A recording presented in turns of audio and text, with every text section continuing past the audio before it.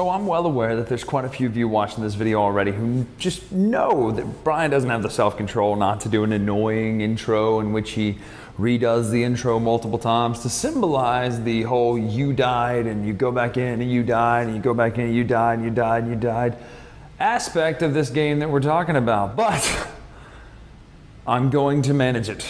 Even though currently, as I'm saying this, I'm still thinking of how I could pull it off, but I'm not going to do it because that's right. Today, we're talking real talk here Dark Souls. Look at this hand reference size, wide box, big game. This is that Star Wars Rebellion sized box, Dark Souls, the board game, focusing heavily on one and three. If you've played these games, you know kind of what to expect from this. It is a very faithful translation of the games into board game. Now, that might just raise your hackles a little bit. You'd be like, I couldn't even do the squeal that time, sorry. It might raise your hackles. There are some of you who might go, that sounds incredible. Let's find out, is it incredible or is it something you go, ah, maybe we should just play Descent instead? Let's find out. See, I told you I didn't do it. I managed to get all the way through this without doing it. So I really wanted to though. Let's find out.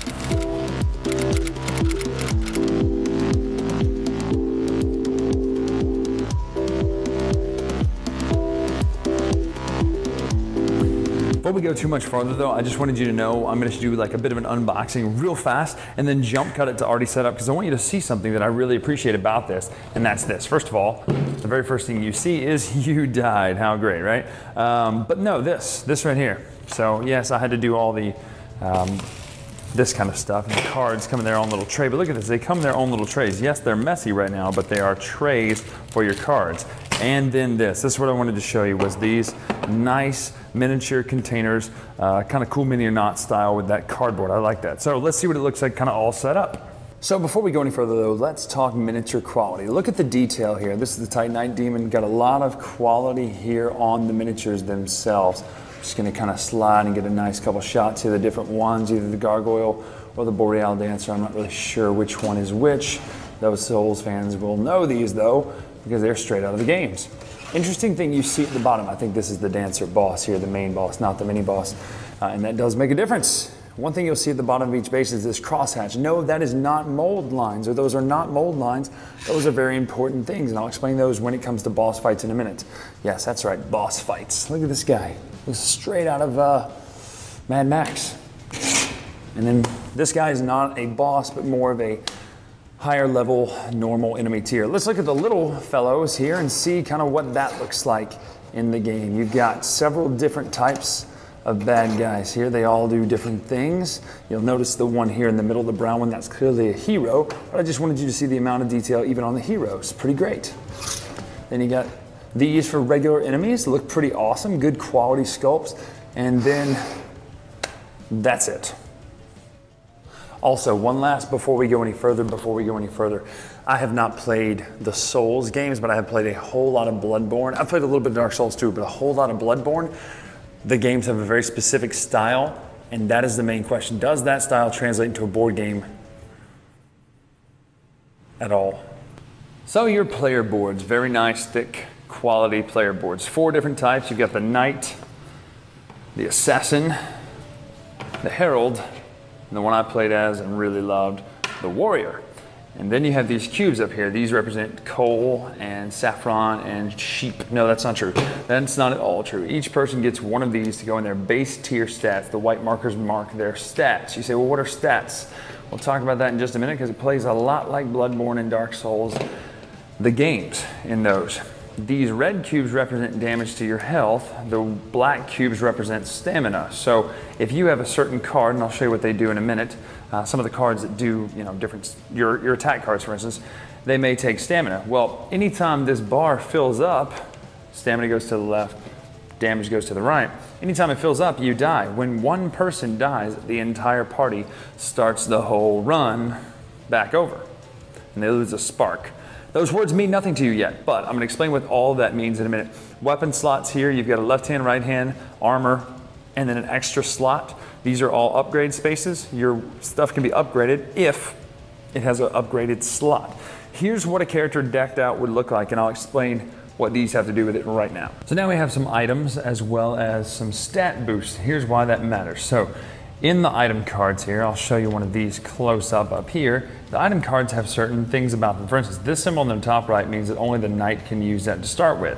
Um, this, this means single hand, DS means Dark Souls. Bottom right is how many upgrades it can be upgraded. This is the uh, dodge value it gives you, the magic defense value it gives you, and the regular defense value it gives you. These are the requirements for strength, intelligence, dexterity, and faith. You'll notice they're all zeros. This is a beginner weapon. Like I said, the rest of them will have just a normal symbol in the top right like this, even though that one can only be equipped by the knife. What a horrible choice to pick right here is a better example. This Pierce Shield can be equipped by anyone, so it's got just that symbol.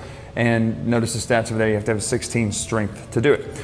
So on the warrior over here, we've got soul arrow in the extra slot. So in case you ever want to switch, one of your actions on your turn can be to switch, you know, these two things or whatever. But let's look at what he's got right here. You have to have an 18 strength to have that. Boom, we've got it. Zero, zero on those. And then a 31, excuse me, this would have to be all the way up here. A 31 on faith to use the halberd. I guess that's a type of weapon of the herald is why, and that's a faith character. So once you're here, all of these weapons and armor could be used. So the worker armor 12, 12, 12, 12 gives you a single black dice to regular defense, a single black dice to magic defense. So on your turn, if you were defending against an attack, you would roll the combined value of a blue dice and a black dice if it's a regular attack.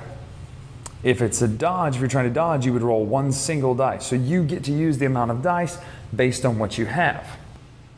Black dice are basically standard. They go from ones to twos with one blank side. Blue dice are a little more advanced, twos to threes, and also one with no blank side, so you're guaranteed to hit. Orange dice, the minimum on them is still one, but it's one, two, two, three, three, four. A lot of damage from orange dice. If you get an attack that lets you roll multiple orange dice, which I had with the Herald in the game the other night, it gets pretty awesome. So that's the point of the different dice. The different colors are different things. So this halberd, for instance, you would roll uh, for one stamina, here's the stamina cost. One stamina, you would roll one blue dice and get an automatic uh, result with that symbol on it, which also means, here's a handy thing, on the back of the rule book, every symbol in the game is shown. So that symbol right there means that it's the shaft. It can't attack at range zero, so you have to be one away because it's a long spear. So that's what that symbol means.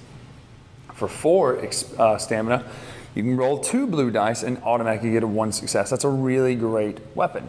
So that's kind of the dice, the weapons, the, all this stuff. This is for magic damage is what that little circle means. So two black dice, you do magic damage, and that matters for the defense of enemies. Let's look at some enemy cards right now. I'll show you how the map is laid out in just a moment, but here are the different types of encounter cards. These are level threes, level twos, two bolts, look at that, and level ones over here. Um, these are the different types of encounters that you will face when it comes to running through the mission. And what that looks like, so level one, for instance, you will have these hollow knight, a hollow um, archer, I think that's what they're called, on space one. And on space two, you'll have the same thing, and there'll be a treasure on this space. I'll explain what that means in a minute. I just wanted you to see how the enemies are not randomly placed in a sense, like each card is a type of thing. So they get harder as they go up in number. So an enemy's card, though, there are one, two, three, four, five, six types of enemies in the base set. I'm to lay them out here where you can see them, and we'll talk about kind of what this means as we go along here. Health is in the top right. This is their threat value, or uh, I don't know if they call it threat or taunt value. Either way, the highest goes first. So this guy's always going to go last here, the crossbow hollow. As you see, though, their health up here, type of character they are, this is their dodge value. So you would have to roll that for the dodge. Dodge dice I didn't talk about, they're 50-50. It's three dodge symbols, three blank symbols. Boom, we succeeded on this guy. So if you have somebody who can roll three dodge dice, a lot of times it's better to dodge, except it's all or none. If you dodge and you fail, you get the full blunt of an attack. How much damage do they do? This symbol right here shows how much damage they do. So four, five, um, four, three magic damage which is weird. I guess that's kind of more, it's magic, but it's really ranged as well. But either way, then six, and then none. Say none, how do they do damage? I'll show you in a minute because these guys are a pain in the butt. So the way this works is their regular defense is here on the left, magic defense is there on the right. So earlier, when I was talking about shooting this soul arrow, if you're rolling magic defense, magic attack against this guy here, they're not going to block it at all. So all you would need is one success, and you got them. They're dead because they only have one health. Now, it's program movement for the enemies, kind of, and I love it. The enemies are going to do the exact same thing every time. The different symbols do different things, and I'll show you what that is right now. For instance, Silver Knight, Great Bowman here. He will move after, I'm sorry, he will attack first. So he's going to shoot the person with the aggro token. The aggro token is the person who activated last. So they're going to shoot the aggro person for four. If you want to block it, you'll roll your dodge or your block amount. So on this guy, it's the blue dice and the black dice. You would then soak only one just then. Let's get a better roll. So now you're soaking three damage. You're only going to take one. They also hit every single person in that person's circle or square or node, they call them. They would then move one space backwards away from the person with the aggro token. Kind of look at one more of those, you'll get a picture of how they work. So the Silver Knight Swordsman, he will move two spaces towards the nearest character. The good thing about this game is strategy is in moving the enemies because you decide if there's a tie, you can decide which character they go to. Now, tie breaks towards the aggro person, but let's say the aggro person is the furthest away when it comes to attacking and moving. You then get to decide where they move when it comes to that. So you'll move towards the nearest person, yes, but if you have two people who are equidistant and you need them to attack the knight instead of the, uh, I don't know, the uh, herald, you can. Over here, they move towards two towards the nearest person, and then over here, they're gonna move, they're, when they attack, they're gonna do five damage to the nearest character, and then they're gonna do pushing damage, not pushing damage, so they're gonna push right here. That means you move out of that square. So you also get to pick which square you move to. Then they hit every single person in that square as well. And you can kind of see the rest of those. There's no different symbols on here. They're all pretty much the same thing. This guy is annoying because he only pushes. So when he moves into a square, he does five damage worth of push. So you kind of just have to watch out. They're slow and lumbering and knock you around a little bit, but they can hurt still. So that's how the enemies work. Yep, another table pop up, but here's the deal. This is how the board is laid out. No, it's not laid out with two and you explore. I just don't have room for all of them because they're very large boards and you lay out the bonfire tile and four other boards, as well as a mini boss tile at the end. And it gets pretty big, so it's six tiles. I think it's six tiles. Anyway, I think it's six tiles big or five tiles big. Either way, it's a lot. It's six tiles. Ends up being six tiles, which is a lot of board space. I know that took me a long time to say that, but it's a lot of board space. Takes a lot of tables. So just know that going in. So I'm only going to lay out two right now because that's all that matters. And when I do the mini boss, I'll show you what that looks like. So party starts here. They have a spark dial, also really cool. A lot of dials in this game that have that whole Fantasy Flight X-Wing feel. Spark dial is right here. What it does is it signifies how many times you can start back and rest at the bonfire. Resting at the bonfire resets everything except, ironically, treasure.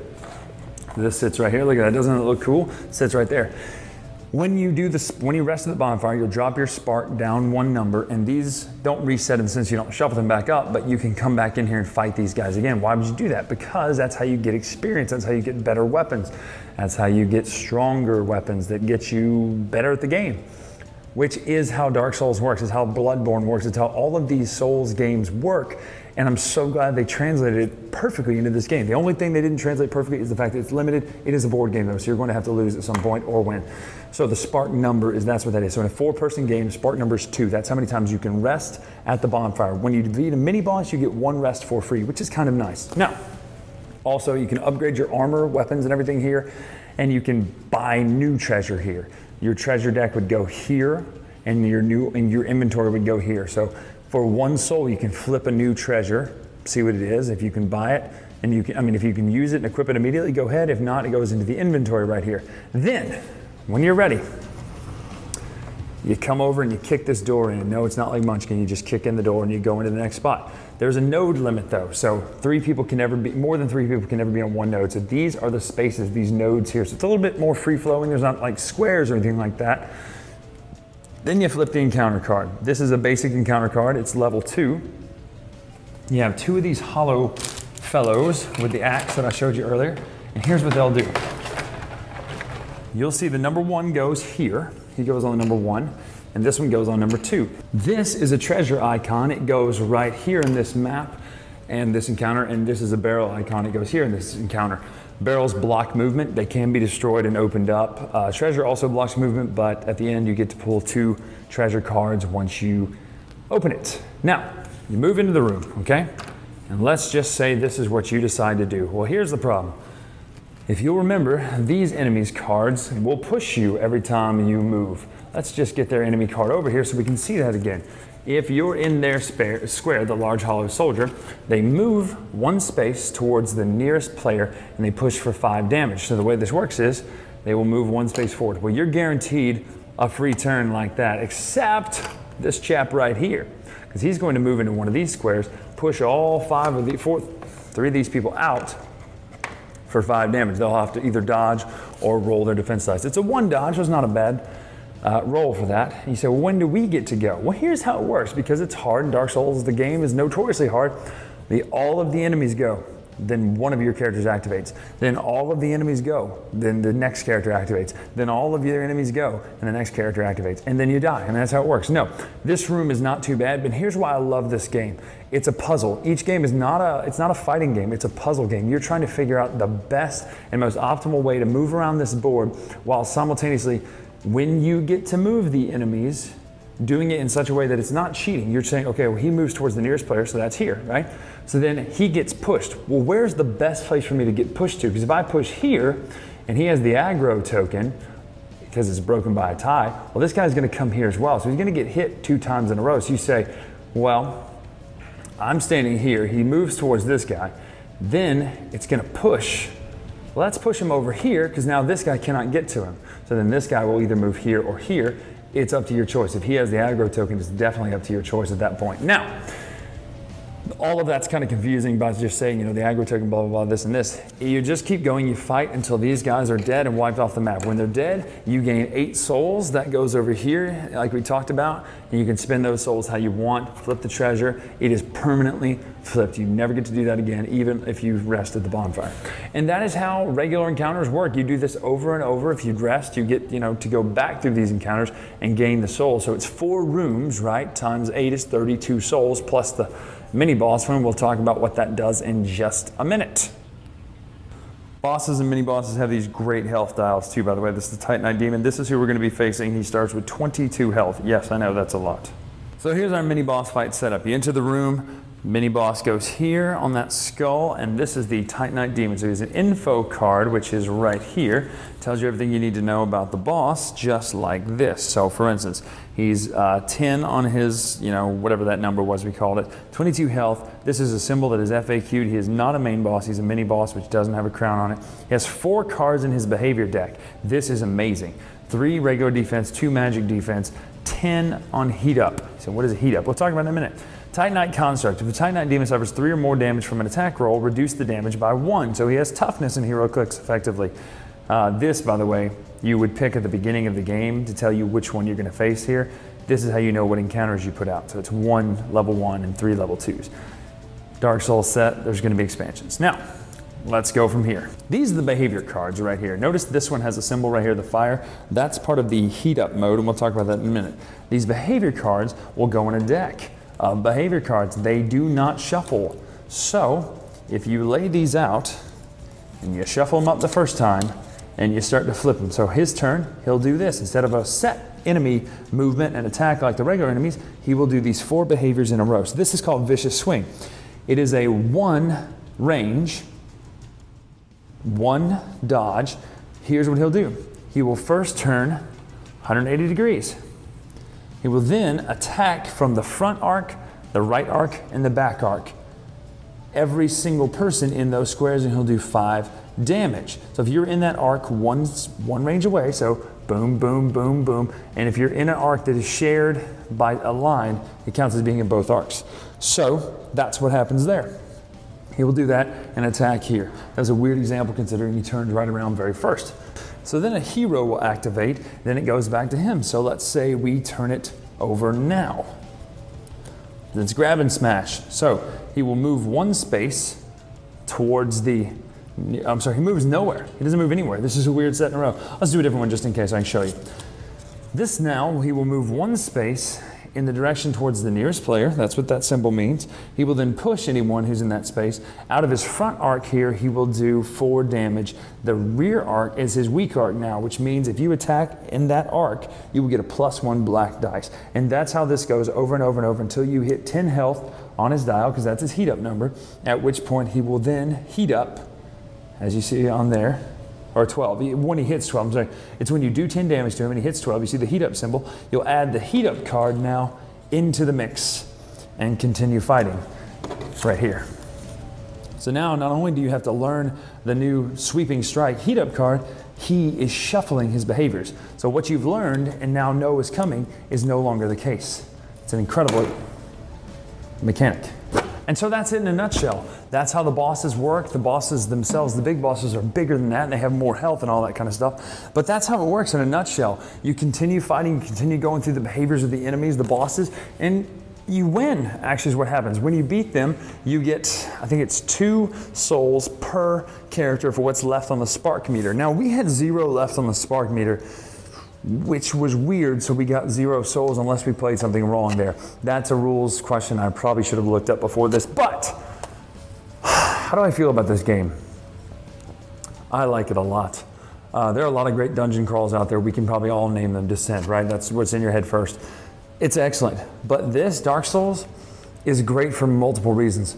It is the best boss fight experience in a board game, period. This arc system, you know, with the, the four different arcs and one becomes a weak arc and the attacks actually being thematic to that is incredible. When he does a big sweeping attack with his right hand, his left side's open. I, I think it's really cool. It's not just it's not just abstract, it actually is thematic. So when he does this big sweep with his right hand, hits from the front, the right, and the back, well, he's weak on the left, and vice versa.